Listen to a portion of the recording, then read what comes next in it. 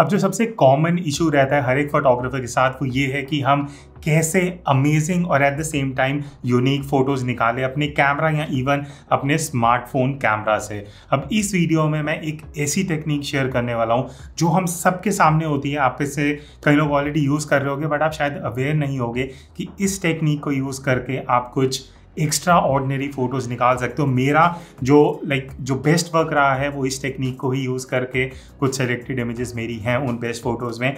और मैं जिस टेक्निक की बात कर रहा हूँ, वो है इंक्लूडिंग अ ह्यूमन एलिमेंट अब अगर आप मेरे चैनल पर रेगुलर व्यूअर हो, आपने देखा होगा, जो भी मैं सैम्पल्स दिखाता हूँ, उनमें से काफ़ी इमेजेस में, जैसा आप यहाँ देख सकते हो ह्यूमन एलिमेंट का एक बहुत इंपॉर्टेंट रोल रहता है। अब इसको आप कहाँ, कब और कैसे यूज़ कर सकते हो, वो मैं इस वीडियो में बताऊँगा। Starting with a very basic question कि हम ह्यूमन एलिमेंट को फ़ोटो में डालते क्यों हैं? अब देखो, बहुत बार होगा, आपको बहुत अमेजिंग सनसेट दिखेगा सनराइज रिफ्लेक्शन शेडोज़ बहुत अच्छी बिल्डिंग दिखी, कुछ मॉन्यूमेंट दिखा। अब मोस्टली हम क्या करते हैं, हम सिर्फ़ उस उस फ्रेम की फ़ोटो ले लेते हैं। बट अगर आप वहाँ ही उसी फ्रेम में वेट करो या अप, अपने फ्रेंड या किसी फैमिली मेंबर को बोल सकते हो वो एज ए ह्यूमन एलिमेंट उस सब्जेक्ट बन सकते हैं उस फ्रेम में और उससे जो इमेज निकलती है उसमें काफ़ी ज़्यादा इंप्रूवमेंट आता है। सबसे बड़ा रीज़न ह्यूमन एलिमेंट यूज़ करने का है आप अपनी जो ऑलरेडी एग्जिस्टिंग फ्रेम है उसको एक लाइफ दे देते हो। आप स्टोरी टेलिंग कर सकते हो। जैसे आप, मैं आपको कुछ सैम्पल्स दिखाता हूँ। यहाँ पे मैं दिल्ली में यमुना घाट पे था। अब यमुना घाट एक बहुत कॉमन प्लेस है। हर कोई वहाँ इमेजेस निकालता है। अगर आपको कुछ डिफरेंट इमेज निकालना है आप ये टेक्निक यूज़ कर सकते हो। वेट करो, कुछ अच्छा एक्शन हो ह्यूमन एलिमेंट्स को यूज़ करो। यहाँ मैं आपको एक क्लिप दिखाता हूँ, जहाँ पे मैंने मल्टीपल फ़ोटोज़ एक साथ प्ले करी हैं। वो मेरी अलग अलग फ़ोटोज़ है, जो मैंने एक साथ कैप्चर करी थी बर्स्ट मोड में। और ये वाली मुझे बेस्ट लगी तो मैंने वो इमेज निकाल ली। अब ह्यूमन एलिमेंट यहाँ पे डालने से क्या हुआ? मैं एक तो इमेज में ड्रामा क्रिएट कर रहा हूँ। At the same time image में एक्शन हो रहा है। तो ये ब्लैंक इमेज नहीं है कि ये कोई बोट है पानी में और सिर्फ़ उसकी फ़ोटो मैंने फोर ग्राउंड में ह्यूमन एलिमेंट डाले, ताकि एक बंदा जो आप देख रहे हो लेफ़्ट में, वो मोबाइल में लगा हुआ है तो वो भी एक स्टोरी बता रहा है। देन बीच में एक ह्यूमन एलिमेंट बैठा है और दूसरी तरफ़ एक जो जो बच्चा था, वो जंप कर रहा है बोर्ड से। तो वो एक एक्शन आपको दिख रहा है। तो एक फ़ोटो में आपको मतलब ऐसा लग रहा है कोई एक एक्शन को फ्रीज किया गया और ये अगर ह्यूमन एलिमेंट नहीं होता तो शायद ये पॉसिबल नहीं हो पाता। अब ये वाली एक और फ़ोटो है, ये मैंने इंडिया गेट में ली थी। नाउ अगेन इंडिया गेट एक ऐसा सब्जेक्ट है जिसकी करोड़ों इमेजेस होंगे इंटरनेट पे। अब उसको आप यूनिक कैसे बना सकते हो? मुझे एक ये दिखा जो वहाँ पे रोड साइड पे सेलर थे टॉयज़ वगैरह ये सब खिलौने बेच रहे थे। तो इस तरह से ये इन्होंने गले पे लगाए हुए थे सींग वाला चीज़ और कुछ बॉल थी जिसको हवा में उछाल रहे थे। तो उस मूवमेंट को, उस एक्शन को मैंने कैप्चर करा इंडिया गेट को बैकग्राउंड में रख के। अब यहाँ पे एक चीज़ ध्यान रखना पड़ेगा, जब आप ऐसी फ़ोटोज़ ले रहे हो F one point eight F two point eight नहीं चलेगा। आपको चाहिए डेप्थ ऑफ़ फ़ील्ड कि इंडिया गेट भी फोकस में दिखे और आगे सब्जेक्ट भी। तो कमेंट करके बताना इस तरह की फ़ोटो में आप क्या पर्चर वैल्यू यूज़ करोगे। अब उसके बाद ये वाली आप फ़ोटो देखो this is again one of my favourite photos अब यहाँ पे बहुत अच्छा रिफ्लेक्शन है बट सिर्फ़ रिफ्लेक्शन की फ़ोटो लेके मैं क्या करूँगा?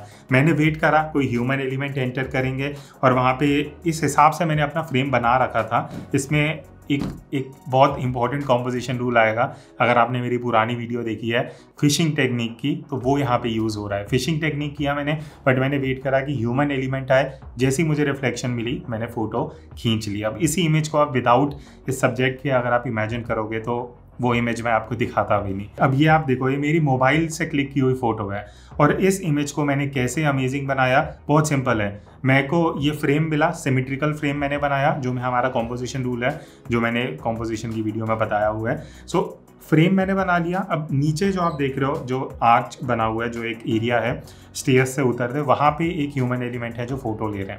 अब वो है मेरे यहाँ पे ह्यूमन एलिमेंट जो इसमें एक जान डाल रहे हैं इस फ़ोटो में। अगर ये नहीं होते तो बहुत सिंपल फ़ोटो था जो बहुत लोग वहाँ पे कैप्चर कर सकते हैं। बट एक और इंपॉर्टेंट चीज़ जिसके लिए मैं आपको एक फ़ोटो दिखा हूँ ये वाली आप फ़ोटो देखो। अब इस फ़ोटो में ह्यूमन एलिमेंट का जो इंपॉर्टेंस है, वो है स्केल दिखाना। स्केल दिखाने से मतलब है, जब एक लेट सपोज़ आप एक, यहाँ पे आप एक दरवाज़ा देख सकते हो, एक दरवाज़ा जिसके थ्रू हम आते हैं, जाते हैं। अब नॉर्मली अगर मैं सिर्फ़ ये फ़ोटो लेता तो आपको शायद पता नहीं लगता कि ये दस फीट का गेट है, बीस का। बट जब मैंने यहाँ पे ह्यूमन एलिमेंट्स डाले, जो on an average I think बच्चे थे, पाँच फीट के होंगे तो इससे आपको पता लग रहा है, कम से कम 20-25 फीट ऊँचा दरवाज़ा है। तो ये आपको स्केल बताता है। सिमिलरली आप ये वाली फ़ोटो देखो यहाँ पे भी एक फोटोग्राफर एक्शन में है वो एक लाइक ऐसा लग रहा है भागते हुए वो कुछ आ, कोई स्केट मार रहा है बट एक्चुअली फ़ोटो ले रहे थे यहाँ पे। तो ये मैंने फ्रेम बनाया। उसके बाद यहाँ पे आप देखो ये दिल्ली की फ़ोटो है। जीब्रा क्रॉसिंग क्या यहाँ पे प्रैक्टिस कर रहे थे लोग ट्वेंटी सिक्स जनवरी की। अब वहाँ पे मैंने क्या करा मैंने वेट करा वो क्रॉस करेंगे जैसे ह्यूमन एलिमेंट्स और उन ह्यूमन एलिमेंट्स को रखते हुए मैंने एक कॉन्ट्रास्ट इमेज बनाया और इसको मैंने ब्लैक एंड वाइट में कन्वर्ट कर दिया। अब इसी तरह आप ये वाली फ़ोटो देखो, यहाँ मैंने इंटेंशनली ना शटर स्पीड स्लो कर दिया था ताकि बर्ड्स का वो स्लो मोशन मूवमेंट आ सके। अब सिर्फ़ मैं अगर बर्ड्स को रखता तो बहुत सिंपल सा शॉट होता। तो मैंने क्या करा, बीच बीच में एक ह्यूमन एलिमेंट आया जिनकी बोट थी, वो वहाँ पे खड़ा हुआ और मैंने वेट करा, वो जब वहाँ पे आए, तब मैंने फ़ोटो ली। अब इस इमेज को अगर आप देखोगे तो एक स्टोरी बनती है कि कोई एक बंदा खड़ा है जो थोड़ा लोनली है उस तरह से और वो बर्ड्स का स्लो मोशन वाला इफ़ेक्ट आ रहा है और एडिटिंग मैंने उस हिसाब से दिया है कि ये बहुत ड्रामेटिक और एट द सेम टाइम बहुत इंटरेस्टिंग शॉट बन जाता है। अब यहाँ पे मैं आपको दो सिलवेट फ़ोटोज़ दिखाऊँगा जहाँ बहुत अमेजिंग स्काई का कलर है बट मैंने यहाँ पे इंटेंशनली सिलवेट बनाया क्योंकि आप देखो कि दोनों फ़ोटोज़ में ह्यूमन एलिमेंट्स हैं, उनका मैंने पूरा ब्लैक एरिया दिखता है, जिसको हम सिलवेट बोलते हैं, और वो ही इस फ़ोटो में जान ऐड कर रहा है। अगर वो नहीं होते, बहुत सिंपल सा शॉट निकलता।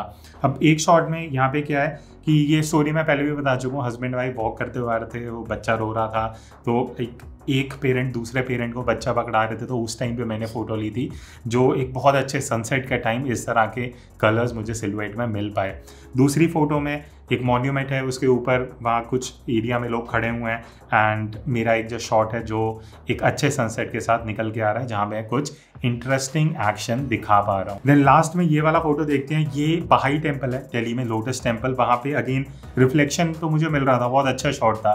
बट उसको नेक्स्ट लेवल पे ले जाने के लिए और कुछ एक्शन दिखाने के लिए उस फ़ोटो में। मैंने वेट करा मुझे दिख रहा था वहाँ से गार्ड आ रहे हैं चलते हुए। और जैसे ही वो सेंटर पॉइंट पे पहुँचे ना इस एरिया के वहाँ मैंने फ़ोटो ली उनका रिफ्लेक्शन भी आया।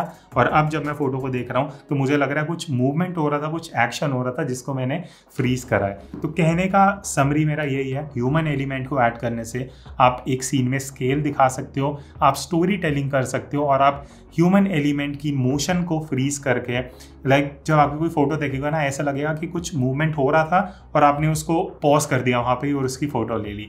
तो यहाँ पे ह्यूमन एलिमेंट को यूज़ करना बहुत इंपॉर्टेंट रहता है।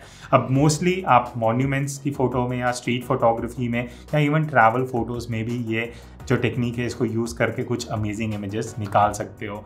तो अगर आप कोई वीडियो यूज़फुल लगी, किसी तरह आपको इम्प्रूव कर सकती है एज अ फोटोग्राफर तो मुझे कमेंट करके बताना और इस वीडियो को लाइक कर देना। The target for this video is four thousand like let's see कि कितने लोग उस टारगेट को अचीव करवा पाते हैं। So I see in the next video इसी तरह इंटरेस्टिंग टॉपिक्स के साथ. Till then take care and keep clicking